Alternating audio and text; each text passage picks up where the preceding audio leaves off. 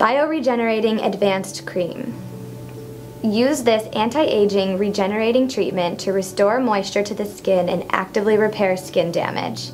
This advanced cream functions on a cellular level to repair and bind moisture to the connective tissues beneath the skin's surface. After cleansing, toning, and serum, apply desired amount all over face and neck. Massage into skin using small circular upward motions. Can be used morning and at night.